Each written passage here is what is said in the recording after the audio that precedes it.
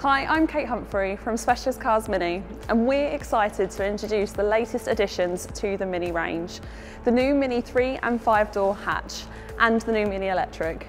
Sporting subtle design updates plus upgrades to technology and an array of new colour options, the new Mini Hatch range offers iconic design with timeless style.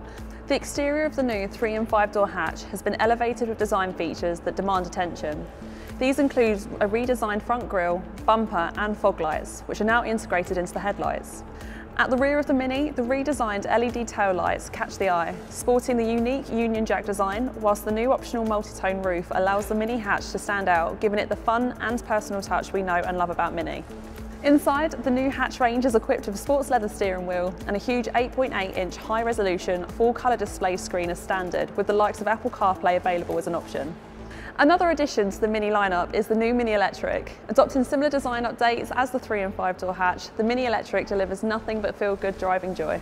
Available in levels 1, 2 and 3 and offering up to 145 miles of pure electric range, the Mini Electric can cut running costs down to as little as 4p per mile.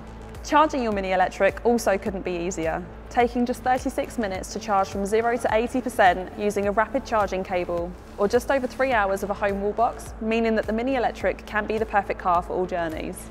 Using the all-new My Mini app, you can check your Mini Electric's range and charging status, as well as giving you the ability to lock and unlock your Mini from your smartphone, allowing full connectivity across all the new Mini models.